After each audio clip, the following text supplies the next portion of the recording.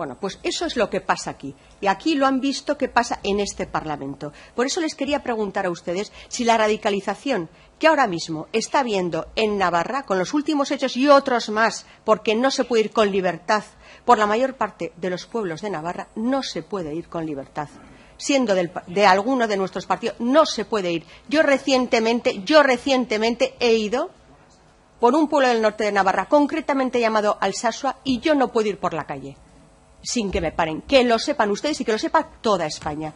¿Y por qué pasa esto? ¿Por qué pasa esto? Y les pregunto a ustedes, ¿creen que puede ser que hay un caldo de cultivo y un clima más favorable desde que, están en el gobierno estos partidos que son Geroa Bay, muy cercano a Bildu, Bildu, Izquierda, Izquierda y Podemos?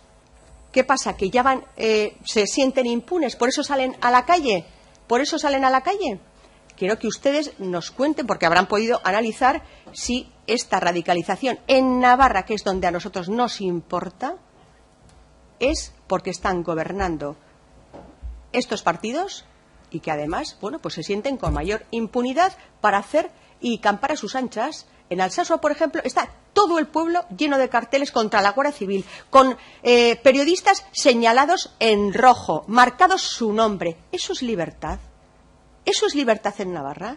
Eso es, en pleno siglo XXI, que yo haya tenido que ver con mis propios ojos lo que he visto, señalando a personas con el dedo. ¿A qué época hemos vuelto? A la época más dura de ETA. Que me da igual que ETA no mate. Esto no se aleja mucho, no se aleja mucho. Por eso quiero que ustedes me den su opinión a ese respecto.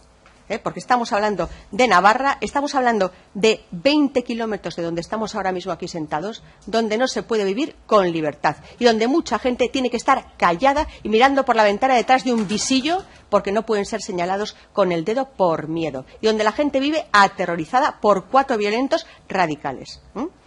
Por eso quiero que ustedes me den su opinión al respecto. Por supuesto que, eh, que estoy de acuerdo con que, y me ha parecido muy interesante, cuando hacen los homenajes a todos estos presos etarras que salen de la cárcel y les vitorean, a ver qué les parecería a Bildu, a Guero Abay, que tanto les apoya a Bildu, que cuando saliera un yihadista de la cárcel saliera todo el pueblo a vitorearles, ¿qué les parecería? Porque son iguales. Igual ha asesinado Bildu a tanta gente como los yihadistas. Perdone, no, eh, señora presidenta, exijo una pues rectificación de las declaraciones. Eh, señora Beltrán, me, dejan, por favor, intervenir a mí. Señora Beltrán, eh, usted acaba de llamar asesinos a Bildu. ¿Es consciente de lo que ha dicho? ¿Puede repetir lo que yo le he dicho? ¿Puede repetir? Que repita la señora. Eh, Bildu ha asesinado mm, y ha seguido. Acaba de decirlo le exijo una, rectificación pues inmediata, señora Beltrán. Vamos a ver.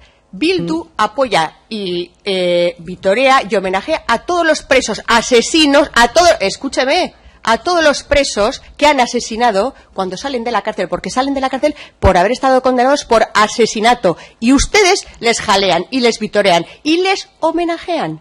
Digo, y le pregunto a usted, ¿Bildu haría lo mismo con un yihadista que ha matado a 10, 20, 30 personas? Niños, padres de familia. ¿Qué? ¿Por qué no? Ponga esa cara. Claro, porque le da vergüenza. Y ahora voy.